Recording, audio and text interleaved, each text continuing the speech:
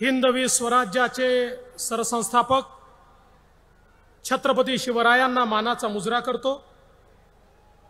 भारतीय राज्यघटनेचे शिल्पकार भारतरत्न डॉक्टर बाबासाहेब आंबेडकर यांना मानवंदना अर्पित करतो.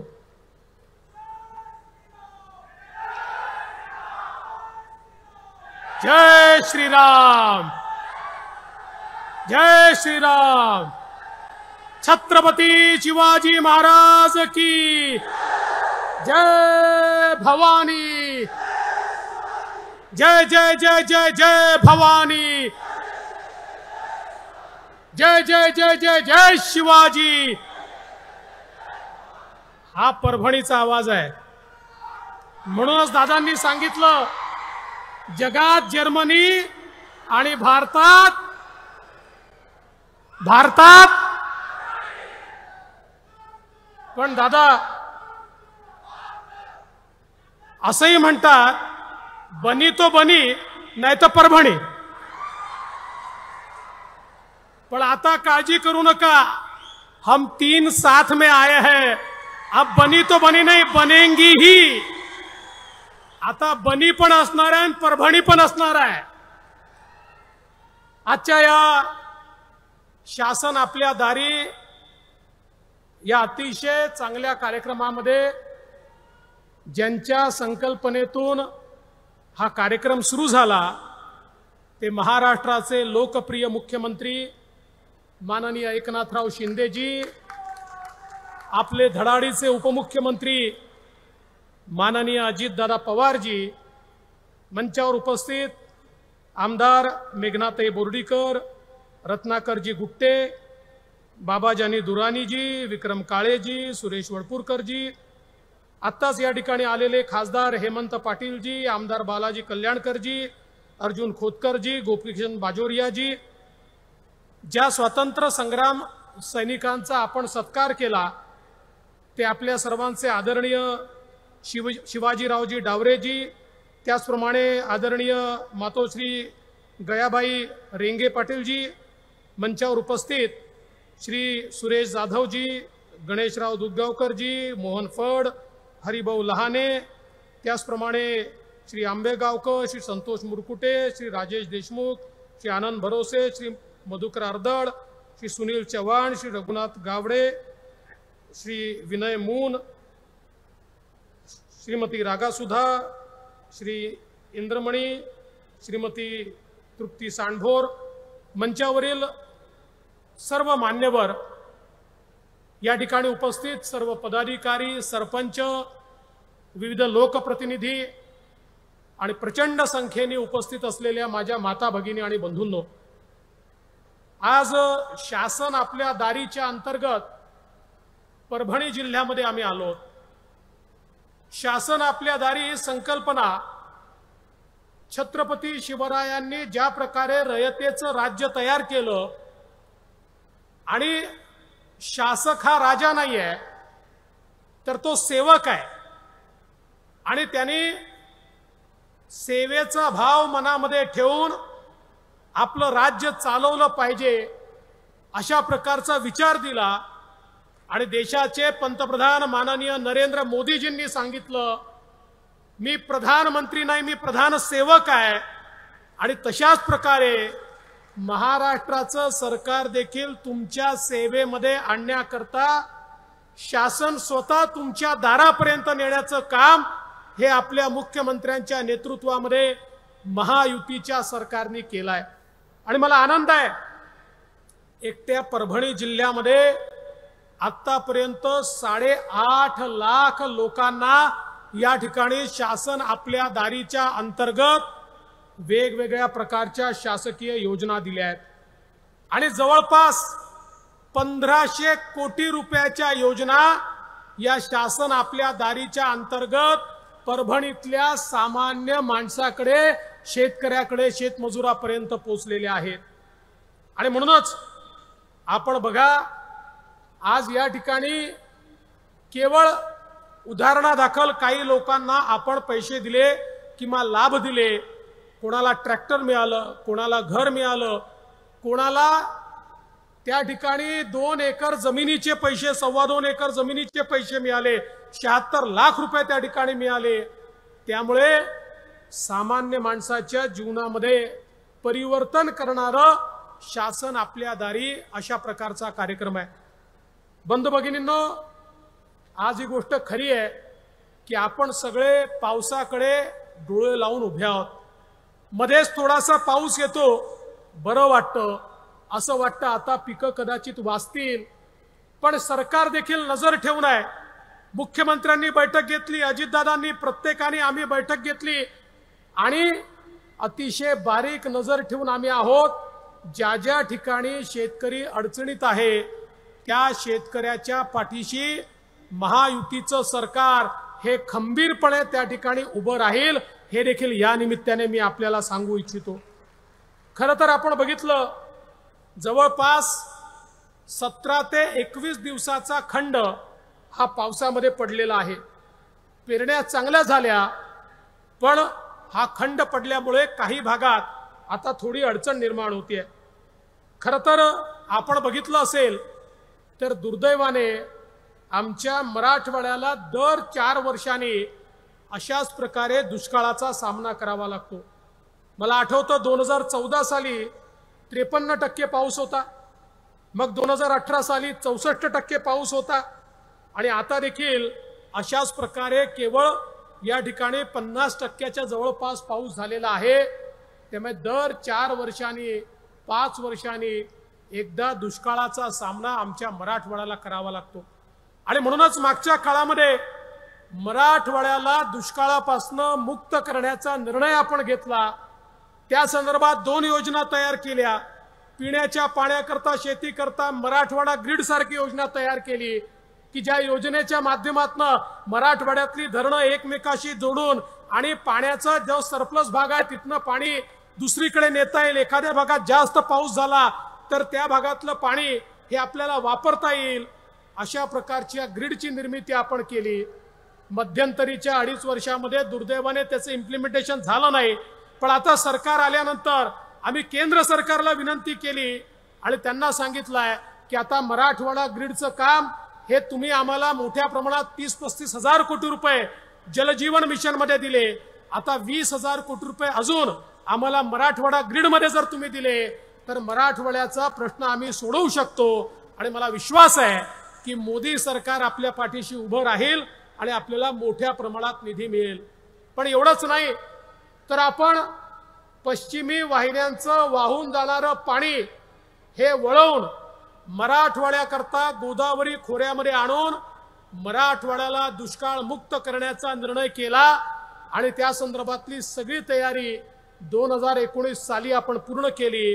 दुर्दैवाने मधल्या अडीच वर्षात या संदर्भात काही होऊ शकलं नाही पण आपल्या मुख्यमंत्र्यांनी पुन्हा एकदा या ठिकाणी कारभार स्वीकारल्यावर ते काम आपण आता हातामध्ये घेतलंय.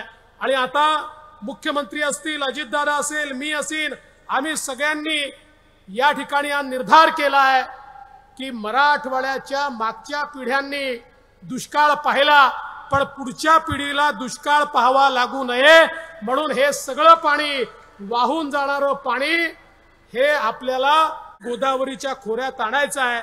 त्या संदर्भातला पहिला आराखडा एम डब्ल्यू आर आर एपर्यंत पोचला आहे त्याला मान्यता मिळाली की दुसरा आराखडा आम्ही देणार आहोत आणि हे काम देखील सुरू करणार आहोत. आणि मला विश्वास आहे की येत्या काळामध्ये मोठ्या प्रमाणात हे पाणी आपण या ठिकाणी आणू शकू. मला आठवतं मागच्या काळामध्ये निम्न दुधना प्रकल्पाला देखील आपण जवळपास दोन हजार तीनशे एक्केचाळीस कोटी रुपये त्या ठिकाणी दिले होते. पाथरी तालुक्यात तारुगव्हाण बंधाऱ्याला एकशे अठ्ठ्याहत्तर कोटी त्या ठिकाणी देण्यात आले. तेवीस हजार हेक्टर सिंचन क्षमता ही आपण निर्माण केली.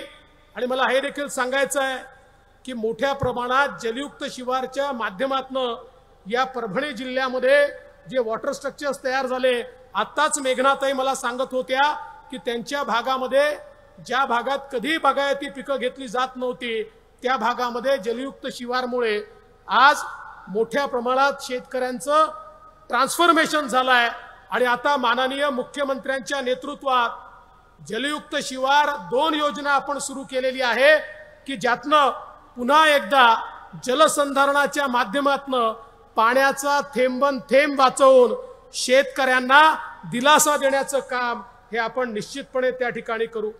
आज आपण पाहतोय की समृद्धी महामार्गामुळे एक मोठं परिवर्तन आपल्याला घडताना दिसत आहे नांदेड परभणी हे समृद्धी महामार्गाशी जोडण्याच्या संदर्भात हे सरकार आल्याबरोबर त्याला गती दिली. माननीय मुख्यमंत्र्यांनी लँड ॲक्विजिशन करता निधी उपलब्ध करून दिला. लवकरच हे काम आम्ही सुरू करू आणि ते काम झाल्यानंतर मला विश्वास आहे परभणी जिल्ह्याचं चित्र हे आपल्याला बदललेलं दिसेल. आणि एवढंच नाही तर आता नागपूर ते गोवा शक्तीपीठ महामार्ग आपण करतो आहे हा शक्तीपीठ महामार्ग नागपूर ते गोवा असला तरी मराठवाड्याच्या पाच जिल्ह्यांचं भाग्य पूर्णपणे बदलणारा अशा प्रकारचा हा शक्तीपीठ महामार्ग होणार आहे की ज्यातनं मोठ्या प्रमाणात उद्योग येण्याकरता आणि मार्केट मिळण्याकरता मराठवाड्याला एक त्याचा फायदा होणार आहे. आणि म्हणून मला असं वाटतं की हे सरकार आल्यानंतर अतिशय हिताचे निर्णय हे आपण मोठ्या प्रमाणात या ठिकाणी करतो. आज आपल्याला कल्पना आहे केंद्र सरकारच्या माध्यमातून माननीय मोदीजींनी माननीय गडकरी साहेबांनी खूप मोठ्या प्रमाणात राष्ट्रीय महामार्गाचा निधी या ठिकाणी दिला आणि ती कामं देखील सुरू आहेत. पण मला या गोष्टीची कल्पना आहे परभणी शहरातले रस्ते जरा खराब झाले आहेत. पण काळजी करू नका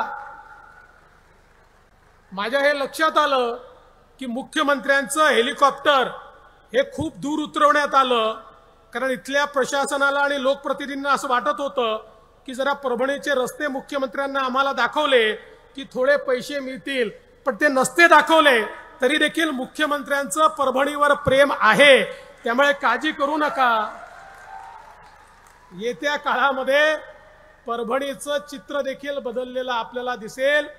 आणि शहरातल्या रस्त्यांवर निश्चितपणे आणि मी तर मुख्यमंत्र्यांना विनंती करणार आहे की साहेब इथल्या मुख्य रस्त्यांना कॉन्क्रीटच्या रस्त्यामध्येच परिवर्तित केलं पाहिजे. म्हणजे मग हे दर दोन वर्षांनी जे ठेकेदारांचं काम चालतं हे काम आता आपण बंद केलं पाहिजे. आणि मला विश्वास आहे की निश्चितपणे हे काम होताना देखील आपल्याला दिसेल. खरं म्हणजे मोठ्या प्रमाणात आज आपलं काम चाललंय विशेषतः परभणी जिल्ह्यामध्ये बारवांचं पुनरुज्जीवन करण्याच्या संदर्भात अतिशय चांगलं काम चाललेलं आहे आणि त्याची दखल माननीय पंतप्रधान महोदयांनी देखील घेतली आहे आणि राज्य सरकारही तुमच्या पाठीशी उभं राहणार आहे. आज आपण मोठ्या प्रमाणात या ठिकाणी सांगितलं पाहिजे कोल्हा ते नसरतपूर परभणी ते गंगाखेड वाटूर ते चारठाणा आणि परळी ते गंगाखेड जवळपास हजार कोटी रुपयाची कामं ही आपण त्या ठिकाणी निश्चितपणे पूर्ण करतो आज हे सगळं करत असताना माननीय मुख्यमंत्र्यांच्या नेतृत्वामध्ये अनेक चांगल्या योजना आपल्या सरकारने तयार केल्या. मग शेतकऱ्यांना नमो शेतकरी सन्मान योजनेच्या अंतर्गत सहा हजार रुपये देण्याचा विषय असो की एक रुपयामध्ये या ठिकाणी पीक विमा देणं असो मला अतिशय आनंद आहे की सात लाखापेक्षा जास्त शेतकऱ्यांनी एकट्या परभणी जिल्ह्यामध्ये पीक विम्यामध्ये नोंदणी केली आहे. त्यामुळे निश्चितपणे कुठली आपत्ती येऊ नये ईश्वराला प्रार्थना आहे. पण आपत्ती आली तर आता त्या शेतकऱ्याला मदत करण्याकरता पीक विम्यामध्ये त्याची नोंदणी असल्यामुळे कुठेही अडचण येणार नाही. ही देखील अत्यंत महत्वाची गोष्ट आहे. आज आम्ही कुठेही गेलो तरी शेतकरी आम्हाला म्हणतात की साहेब तुम्ही आम्हाला अर्धे दिवस रात्री वीज देता अर्धे दिवस सकाळी वीज देता त्यामुळे आम्हाला खूप अडचण होते. आम्हाला बाराही महिने दिवसा वीज मिळाली पाहिजे. ही शेतकऱ्यांची मागणी आहे आणि हीच मागणी पूर्ण करण्याकरता आपण मुख्यमंत्री सौर कृषी वाहिनी योजना आणली आहे. पुढच्या तीन वर्षामध्ये सगळे कृषीचे फिडर हे सौरवर टाकून आमच्या शेतकऱ्याला तीनशे पासष्ट दिवस दिवसा वीज देण्याचं काम हे महायुती सरकारच्या माध्यमातून या ठिकाणी केलं जाणार आहे. खास खरं म्हणजे अनेक योजना आपण या ठिकाणी राबवल्या. आमच्या माता भगिनी या ठिकाणी आहेत. खरं म्हणजे माननीय मुख्यमंत्र्यांच्या नेतृत्वात आमच्या महिलांना एस टी मध्ये पन्नास टक्के सवलत मिळाली. त्यामुळे महिलांनी मुख्यमंत्र्यांकरता जोरदार टाळ्या वाजवल्या पाहिजे. आणि आता आपल्या घरच्या माणसाला सांगायचं तुम्ही तालुक्याला किंवा जिल्ह्याला गेलात तर दुप्पट पैसे खर्च होतात. त्यामुळे तुम्ही घरी बसा. मी तालुक्याला किंवा जिल्ह्याला एस टीने जाऊन येते. हे आता आमच्या माता भगिनींनी सांगायचं आहे आणि एवढंच नाही तर जे ज्येष्ठ नागरिक आहेत सत्तर पंच्याहत्तर वर्षाचे आपले जे ज्येष्ठ नागरिक आहेत यांना तर एस टी फुकट झालेली आहे. त्यामुळे आता त्यांना औंड्या नागनाथचं परई बैजनाथचं सगळं दर्शन करत करत तिकडे पुण्याकडे अष्टविनायकाचं दर्शनाला देखील पाठवलं तरी हरकत नाही. एस टी फुकट आहे. फक्त घरच्यांना पुन्हा सन्मानपूर्वक घरामध्ये बोलवा. नाहीतर ते गेले तर विसरून जाल असं करू नका. पण आपल्या ज्येष्ठांना देखील फिरायची सोय ही आता मुख्यमंत्र्यांच्या नेतृत्वामध्ये या ठिकाणी झाली आहे. आज आपण पाहतोय छोटे छोटे घटक आहेत. अंगणवाडी सेविका असतील गटप्रवर्तक असतील आशा सेविका असतील मदतनीच असतील मिनी अंगणवाडी सेविका असतील सगळ्यांच्या मानधनामध्ये त्या ठिकाणी वाढ करण्याचं काम हे आपल्या सरकारने केलंय. आणि आमच्या भगिनींनो काळजी करू नका.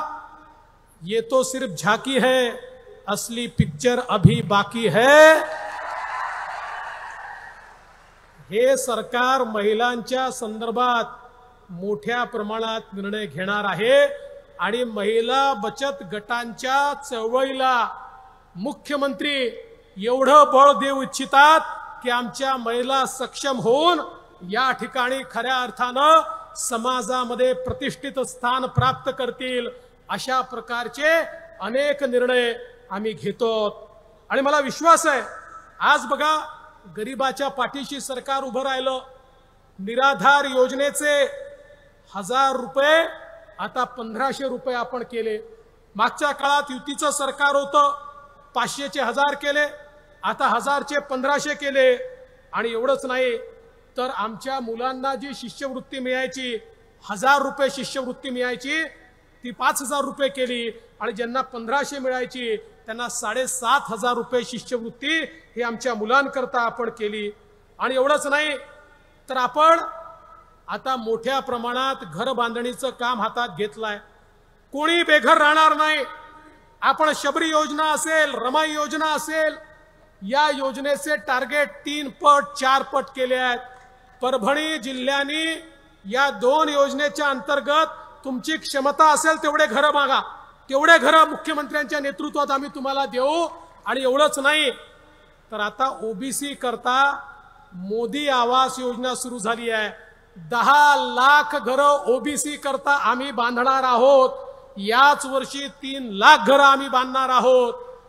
आणि माझी जिल्हा प्रशासनाला पुन्हा विनंती आहे या योजनेच्या अंतर्गतही तुम्हाला कुठलाही इष्टांक नाही. तुम्ही जेवढी घरं मुख्यमंत्र्यांकडे मागाल तेवढी घरं या जिल्ह्याला देण्याची तयारी ही आपल्या सरकारची आहे. कारण आपल्याला बेघर मुक्त प्रत्येकाकडे घर असेल अशा प्रकारचा जिल्हा मोदीजींचं स्वप्न आहे. या देशातला एकही व्यक्ती बेघर असू नये ते स्वप्न पूर्ण करण्याचं काम हे निश्चितपणे आपल्याला या ठिकाणी करायचं आहे. आणि म्हणून खरं म्हणजे अनेक योजना आहेत. मी सगळ्या योजना या ठिकाणी सांगणार नाही. मुख्यमंत्री महोदय देखील बोलणार आहे. आरोग्याच्या संदर्भातल्या चांगले निर्णय आपण घेतलेले आहेत. पण एक गोष्ट निश्चितपणे सांगितली पाहिजे की परभणीच्या मेडिकल कॉलेजच्या संदर्भात ज्या वेगानं केंद्र सरकारने निर्णय घेतला खऱ्या अर्थानं परभणीकरांनी मोदी सरकारचे आभार मानले पाहिजेत. तात्काळ! मेघनाथय तुमच्या लक्षात असेल आपण ती अपील फाईल केली गुट्टे साहेब. आणि अपील फाईल झाल्यानंतर आपण केंद्र सरकारशी बोललो माननीय मुख्यमंत्री बोलले. आणि तात्काळ केंद्र सरकारने आपली अपील मान्य केली आणि परवानगी या ठिकाणी दिली. आणि काळजी करू नका. पहिल्यांदा महाराष्ट्र सरकारने एका वर्षामध्ये दहा मेडिकल कॉलेज मंजूर केले आहेत. सगळ्या इमारती तयार करून सगळे मेडिकल कॉलेजेस सुरू करण्याचं काम हे आपण या ठिकाणी करतो. आणि म्हणून बंधू भगिनींनो खरं म्हणजे हे सरकार सामान्यांकरता काम करणारं सरकार आहे. आज आमचे विरोधक सकाळपासनं रात्रीपर्यंत टीकाच करतात. सकाळी नऊ वाजता एक भोंगा सुरू होतो. आणि रात्री दहा वाजेपर्यंत दुसरे भोंगे चालू असतात. माझा यांना सवाल आहे आमच्यावर टीका पाहिजे तेवढी करा. आम्ही टीकेला घाबरत नाही निंदकाचे घर असावे शेजारी मानणाऱ्यांपैकी आम्ही आहोत. पण माझं एकच तुम्हाला म्हणणं आहे मी पण विरोधी पक्षात होतो विरोधी पक्ष नेता होतो. वर्षानुवर्ष विरोधी पक्षात काम केलं. पण ज्यावेळी सरकारवर टीका करायचो त्यावेळी चांगलं काय झालं पाहिजे हे देखील सांगायचो. ते मात्र यांच्याकडे सांगण्यासारखं काही नाही. कुठली दिशा असली पाहिजे हे सांगू शकत नाही. काय केलं पाहिजे हे सांगू शकत नाही. खरं म्हणजे हे काही राजकीय मंच नाही पण यांच्यातला एकही नेता विकासावर एकही शब्द बोलत नाही एकही शब्द बोलत नाही. अरे तुमच्या भाषणाने गरिबी दूर होणार नाही. तुमच्या भाषणाने शेतकऱ्यांचं भलं होणार नाही. तुमच्या टीकेमुळे शेतमजुराच्या पोटात दोन घास जाणार नाही. या ठिकाणी दीन दलित गोर गरीब शेतकरी आदिवासी शेतमजूर महिला अल्पसंख्याक या सगळ्यांच्या जीवनामध्ये परिवर्तन करायचं असेल तर मोदीजींच्या नेतृत्वात महायुतीचं सरकार रोज योजनांच्या माध्यमातून हे परिवर्तन करताय. तुम्ही देखील या परिवर्तनामध्ये सामील व्हा. केवळ बोट दाखवू नका. बोट दाखवून तुम्ही कधीच कल्याण करू शकणार नाही. आम्ही तर कल्याणाकरता उतरलो पारदर्शी प्रामाणिकतेतून अठरा तास काम करून सामान्य माणसाच्या जीवनामध्ये जोपर्यंत परिवर्तन होणार नाही तोपर्यंत आम्ही तिघही स्वस्थ बसणार नाही. एवढंच सांगतो आणि माझं बोलणं संपवतो. धन्यवाद. जय हिंद. जय महाराष्ट्र.